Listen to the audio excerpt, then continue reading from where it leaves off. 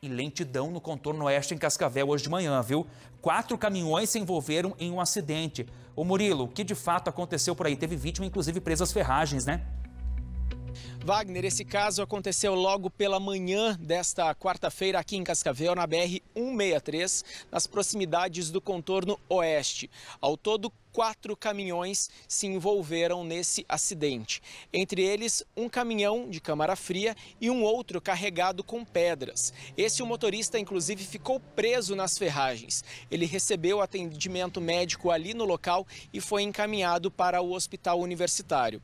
Um terceiro veículo, um caminhão carregado com milho. Ele teria tentado fazer uma ultrapassagem e acabou batendo de frente com esses outros dois caminhões já citados. Um um quarto veículo de grande porte, um caminhão que carregava 60 mil litros de óleo vegetal, também esteve envolvido nesse acidente e acabou sendo atingido. A rodovia ficou parcialmente bloqueada, formando uma grande fila de veículos até a liberação feita pela, é, pela Polícia Rodoviária Federal que esteve no local para atender essa situação. Wagner.